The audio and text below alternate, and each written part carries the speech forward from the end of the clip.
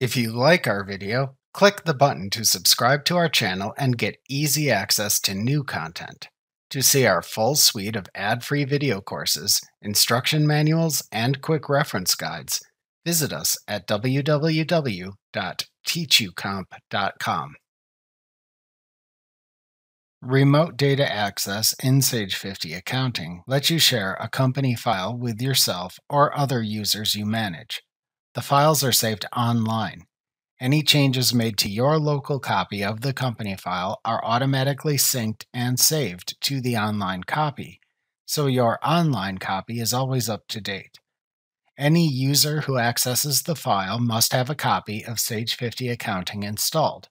However, only one user at a time may access the Remote Data Access company. In addition, before using Remote Data Access, you must activate Remote Data Access by creating or entering your Sage ID to sign into your account to activate the service. You can sign in and activate the service while sharing the company file for the first time if needed. To share a company file in Sage 50 Accounting using Remote Data Access, open the company file to share and sign in as the admin user. If you haven't created an admin user and signed in as the admin, you can do that as part of this process. Next, select File, Remote Data Access from the menu bar to open a window that asks if you are the correct person to connect this company using Remote Data Access. To continue, click the Yes, I am the right person button. If needed, then create and or sign in as the admin user.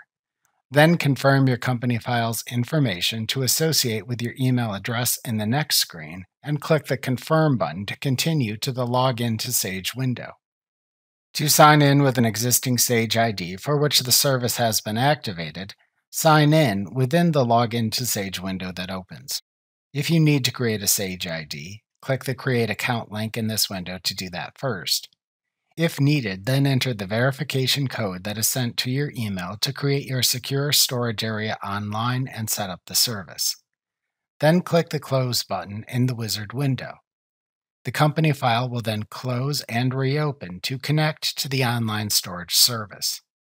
To then share the company file, select File, Remote Data Access, Share Company from the menu bar to open the User Security window. Optionally, create any additional users with whom you want to share the company file, which is discussed in the next lesson. You can always add other users later, too. Then click the Share button in the upper right corner of the window. Then click OK in the message that tells you Sage 50 will upload the company file after you finish any changes in the user security window and close the window. Then click the Save and Close button in the User Security window. Then read the information in the message that appears to tell you the company file is now shared and you can access it from other locations, and then click the OK button in the message box.